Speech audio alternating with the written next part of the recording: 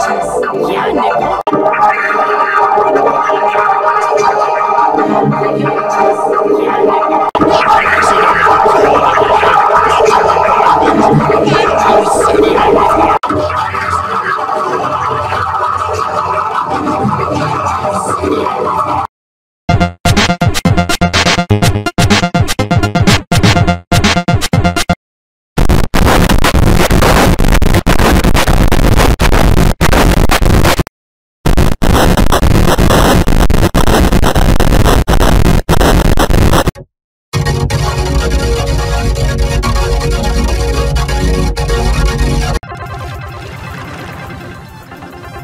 Bungie, I think we should call it a day.